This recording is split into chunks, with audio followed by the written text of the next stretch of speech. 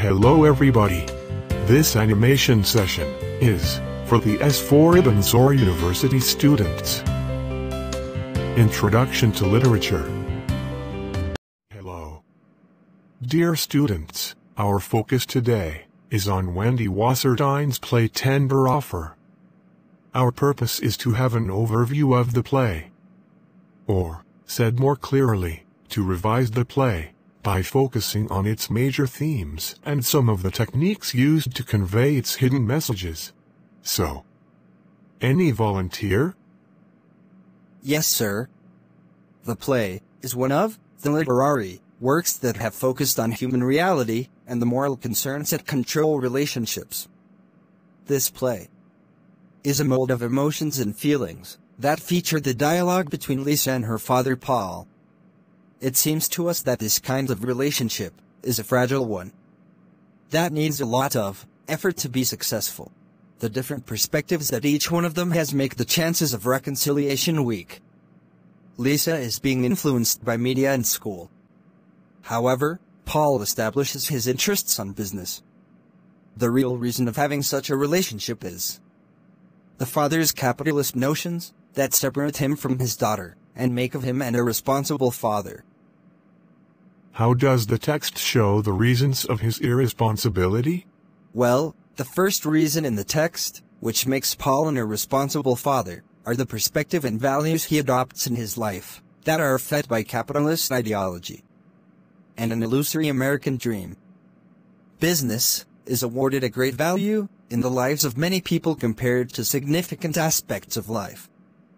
Paul loses the sense of responsibility as a result of giving too much interest to business, here.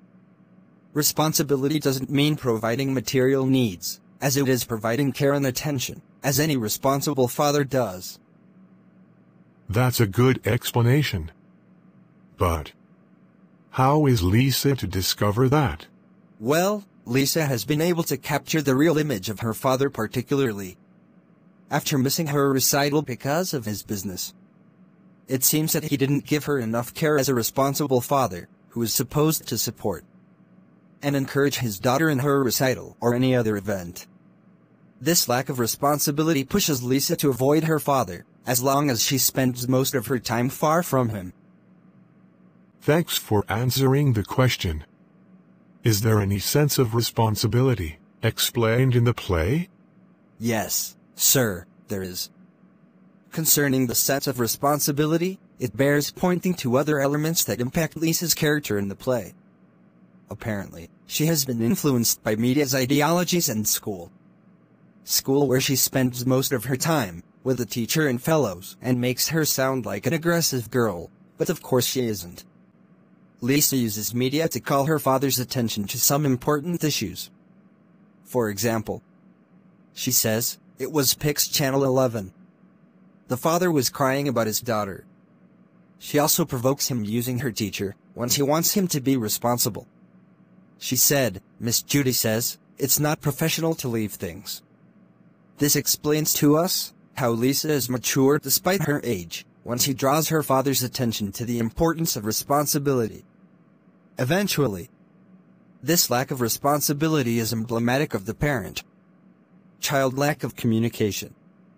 If Paul supported his daughter morally, as any responsible father does, and not give too much attention to business, there would be an intimate relationship that is based on responsibility and appreciation. Thank you. Another student to contribute something? Me, sir.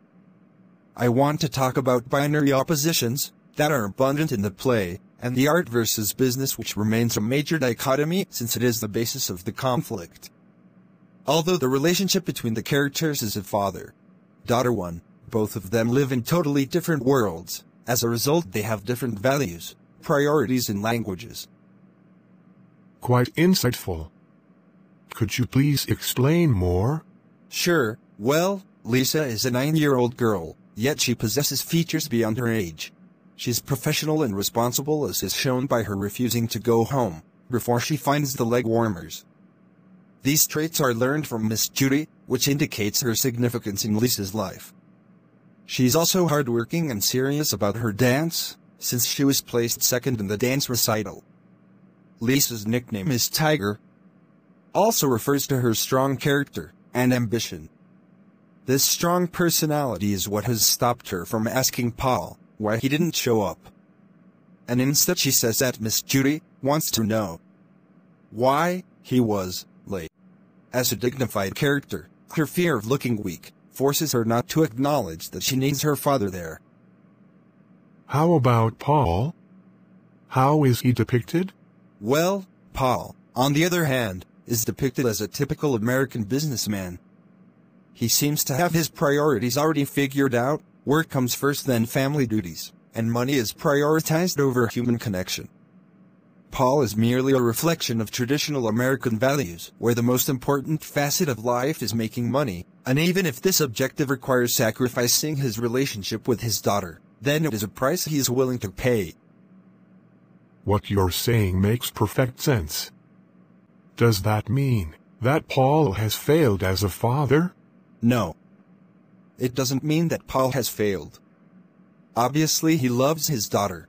However, in his mind, he's facing a dilemma where he either focuses on his work to ensure his daughter's future, or he attends her dance recitals and be more involved in her life, which can lead him to be distracted and risk his job. To Paul, ends justify the means, but through that pursuit of the future we miss the present and lose count of what is really important. Does it matter if Lisa is provided for if the cost is her relationship with her father? The American dream isn't exclusive to the USA. And working hard to attain success is the case in every country. However, what is exclusive to the American mentality in particular is the willingness to sacrifice relationships with those who matter in order to attain that success. And its writer is criticizing in the play. As you stated at the beginning, we can also evaluate the play at the level of language. Sure. As has been established, each character is from a different world, and from within those differences conflict arose. The most obvious aspect is the use of language. Paul uses words like procrastinating and maudlin while talking to a nine-year-old, indicating that he doesn't know the proper language suitable for children. Lisa does the same when she refers to individuals, whom Paul doesn't know like Miss Judy, as well as mentioning TV shows. Each character speaks its own language which makes mutual understanding hard to achieve.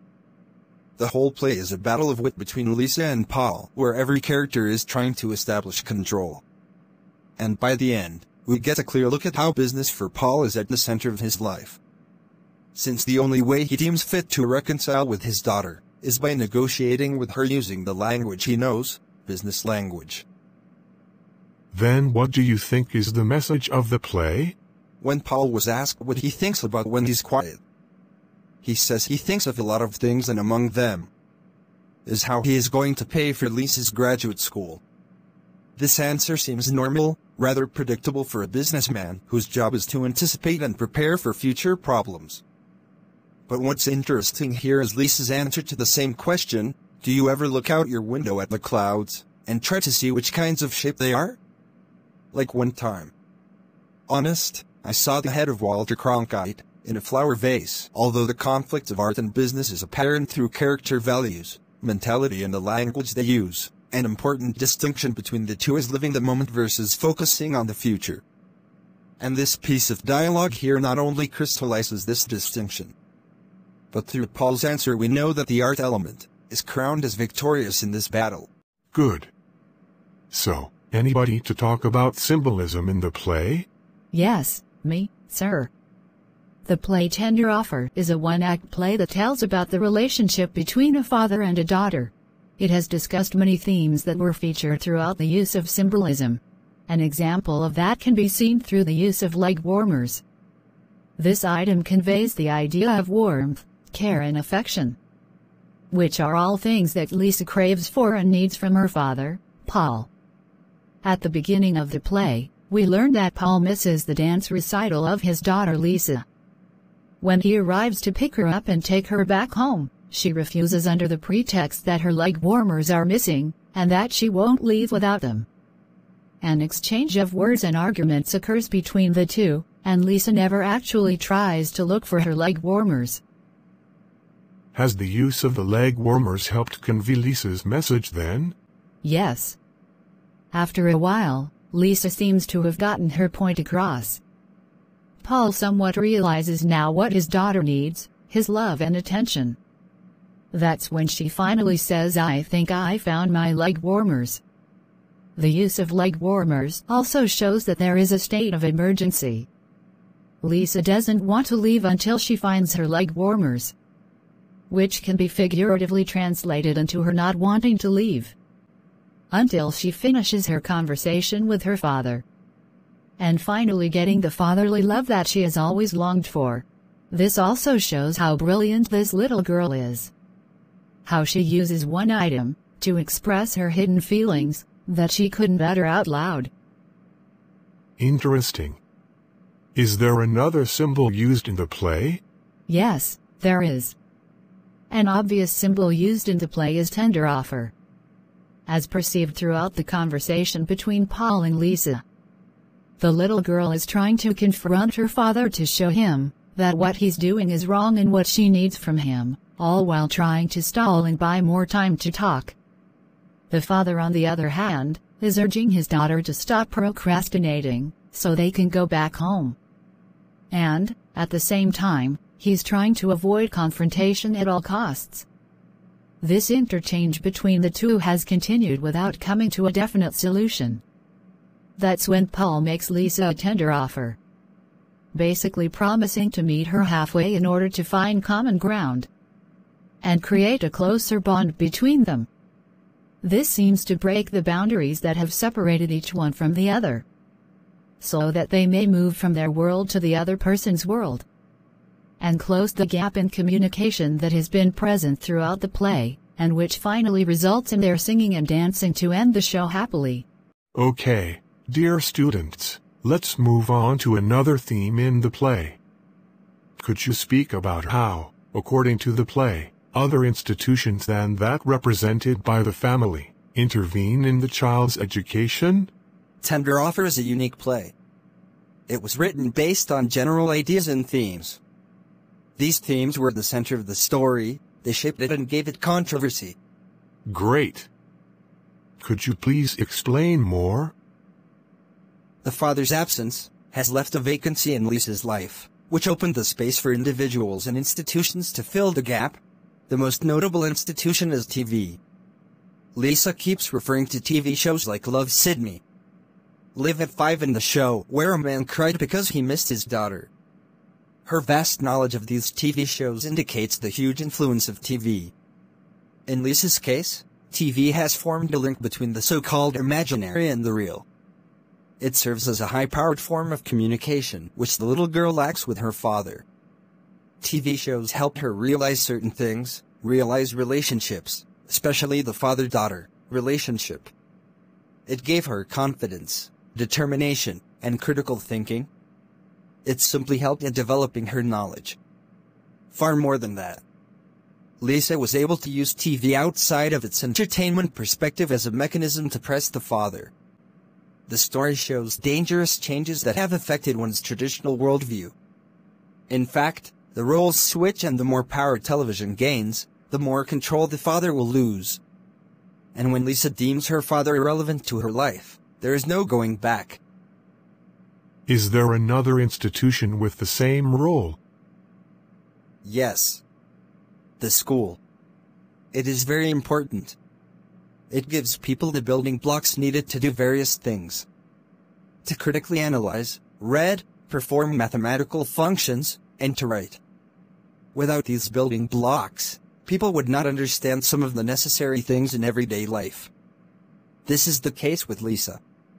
These building blocks have enabled her to recognize and realize numerous things without the help or presence of her father, norms and values such as holding a promise, being on time and managing priorities. Lisa acquired them mostly from her teachers, especially Miss Judy. It is safe to say that the school has replaced the father figure in Lisa's life. Represented by Miss Judy, school has taught the little girl so many things, she was even able to teach them back to her father. Also, there is the institution of business which shows more of the side of the father. To thrive in such an institution, your principals should most likely contract with what the other institutions value.